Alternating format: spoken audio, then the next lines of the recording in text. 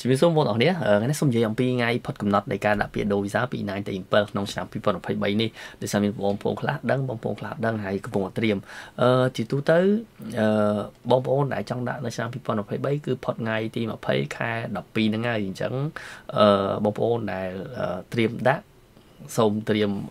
ឲ្យមុនថ្ងៃ20តើអ្នកនេះពីព្រោះផុតថ្ងៃ20ហ្នឹងហើយហើយជាពិសេសបងប្អូនដែលខ្វះភាសាកូរ៉េពីព្រោះមានបងប្អូនច្រើនគាត់ពាក់ខែក៏គ្រប់អាយុក៏ក៏បានបន្ទុនៅកូរ៉េក៏គ្រប់ហើយអឺចំពោះខ្វះខ្វះតែកម្រិតភាសាកូរ៉េអញ្ចឹងណាអញ្ចឹងកម្រិតភាសាកូរ៉េបងប្អូនមានជំរឿនតែមួយទេគឺប្រឡងតាមកុំព្យូទ័រអឺចំពោះប្រឡងតាមកុំព្យូទ័របងប្អូនអាចទៅប្រឡងបានពីថ្ងៃច័ន្ទដល់ថ្ងៃសុក្រប៉ុន្តែខ្ញុំគិតថាបើសិនជាបងប្អូនអឺ ខ្វះតែកម្រិតភាសាកូរ៉េគួរតែសុំតកែទៅប្រឡងហើយប្រឡងមានពីរតំបន់គឺនៅខ្វាំងមីយ៉ងនិងនៅថេយ៉ុនអញ្ចឹងបងប្អូនអាចទៅប្រឡងបានហើយថ្ងៃប្រឡងនៅសល់ច្រើនដែរនៅសល់ថ្ងៃអង្គារថ្ងៃអង្គារថ្ងៃពុធថ្ងៃសុក្រ បាទថ្ងៃសុកពេញដល់ថ្ងៃសុកទី8ពេញហើយថ្ងៃទី15អត់ទាន់ពេញហើយថ្ងៃទី15ប្រឡងបងប្អូនអាចចេញលទ្ធផលអាចថ្ងៃ18 19នេះគឺចេញហើយអញ្ចឹងណាអញ្ចឹងក្រោយថ្ងៃប្រឡង3ថ្ងៃអញ្ចឹងបើសិនជាអាចបងប្អូនប្រឡងថ្ងៃ11ថ្ងៃ12ថ្ងៃ13ឬក៏ថ្ងៃ8នេះអើថ្ងៃ6អូអញ្ចឹងនៅសល់នេះតោះនេះសល់ថ្ងៃ6ថ្ងៃ8 11 12 13 15អញ្ចឹងការប្រឡងនេះបងប្អូនប្រឡងហើយចេញលទ្ធផលទាល់សម្រាប់ការដាក់ពាក្យដូវីសានៅក្នុងឆ្នាំ2023តើអ្នកនេះអញ្ចឹងសម្រាប់បងប្អូនដែលចង់ប្រឡងដូវីសាឆ្នាំ2023ហើយខ្វះកម្រិតភាសាកូរ៉េអាចចុះឈ្មោះប្រឡងតាមកុំព្យូទ័របានអឺចុះឈ្មោះប្រឡងតាមកុំព្យូទ័រដូចតែប្រឡងកតាដែរទេគ្រាន់ថាបងប្អូនត្រូវយកម៉ៅបងប្អូនឃើញឃើញសញ្ញាព្រុញទេគាត់យកសញ្ញាព្រុញចុចคลิกលើចម្លើយលេខ1លេខ2ឬក៏លេខ3ឬក៏លេខ4អញ្ចឹងខុសគ្នាតែប៉ុណ្្នឹងឯងហើយកន្លែងសរសេរ បងប្អូនមិនតសេក៏បានកម្រិត3ឬកម្រិត4ដែរពេលទៅប្រឡងណាឲ្យតែបងប្អូនធ្វើសំណួរតាក់ទៅនឹងវិញ្ញាសាត្រូវហើយសម្ភារបានល្អសម្ភារបាន5 6បន្ទុកទៅអាហ្នឹងគឺបានហើយអញ្ចឹងខ្ញុំដាស់តឿនវីដេអូនេះសម្រាប់បងប្អូនដែលខ្វះកម្រិតភាសាកូរ៉េព្រោះមានបងប្អូនជាច្រើនដែលគ្រប់លក្ខខណ្ឌដែរប៉ុន្តែខ្វះកម្រិតភាសាកូរ៉េតោះនេះអញ្ចឹងថ្ងៃផុតកំណត់គឺថ្ងៃ20ខែ12ហើយចំពោះការប្រឡងមានតែជំរើសមួយទេគឺ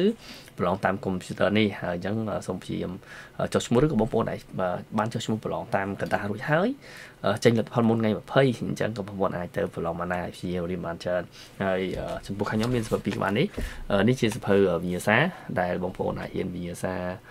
ជាមុនជាទូទៅបងប្អូនអាចរៀនមេរៀនអំពីសង្គមសេដ្ឋកិច្ចវប្បធម៌នយោបាយហើយរៀនវិញ្ញាសាអញ្ចឹងនៅពេលដែលបងប្អូនរៀនចេះហើយរៀនវិញ្ញាសាយើងអាចអត់យល់ពាក្យឬក៏វេយ្យាករណ៍បងប្អូនអាចយកសភៅនេះទៅសិក្សាពីព្រោះពេលប្រឡងបងប្អូនត្រូវធ្វើមកទៅតពាក្យវេយ្យាករណ៍វប្បធម៌កូរ៉េហើយនឹងសម្ភារពេលសម្ភារគេនឹងឲ្យបងប្អូនអានអត្ថបទលើតុអញ្ចឹងនៅក្នុងនេះមានអត្ថបទមួយចំនួនដែលបងប្អូនរៀនអានតមក មានចំនួននឹងអង្គមដែលបងប្អូនរៀនឆ្លើយហើយបន្ទាប់ពីគេសួរអត្ថបទនៅក្នុងលើតុហ្នឹងហើយគេសួរពីបងប្អូន ពីដំណើរកំសាន្តក៏ដូចជាចំណងចំណុចចិត្តឬក៏មហូបប្រពៃណីខ្មែរយើងជាដើមឬក៏មហូបកូរ៉េអញ្ចឹងណាអញ្ចឹងទាំងអស់ហ្នឹងបងប្អូនអានសភៅអានសភៅហើយមើលសភៅពាននឹងវិជ្ជាករហើយ អញ្ចឹងអាចទៅប្រឡងបានហើយធ្វើបន្ទុក41ឡើងអាចយកមកដាក់ពាក្យដូរវិសាបានហើយតើដល់គ្នាហើយបងប្អូនដែលគាត់ថាចង់ដូរឆ្នាំក្រោយឬក៏បងប្អូនដែលខ្សោយមេរៀនអាចយកមេរៀនតាមវគ្គសាស្ត្រក្នុងប្រូក្រាមដែលខ្ញុំមានបញ្យល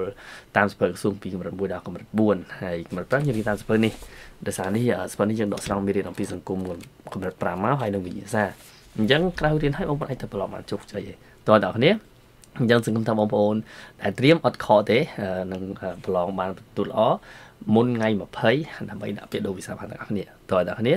អញ្ចឹងខ្ញុំបញ្ជាក់ឡើងវិញចំពោះការប្រឡងតាមកុំព្យូទ័របងប្អូនអាចចុះ បាននៅ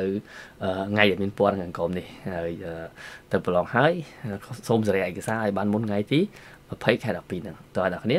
អូខេអញ្ចឹងវីដេអូនេះមានប៉ុណ្ណឹងហើយបងប្អូនដែលត្រូវការសភៅទាំងពីរក្បាលនេះឬក៏បងប្អូនចង់សិក្សាអនឡាញតាមវគ្គសាស្ត្រវិទ្យាប្រូក្រាមឬក៏ចង់បានវីដេអូបញ្យលអំពីការដោះស្រាយវិញ្ញាសាអាច channel page ខ្ញុំនឹងរៀបចំជូនបានអរគុណទាំងអស់គ្នា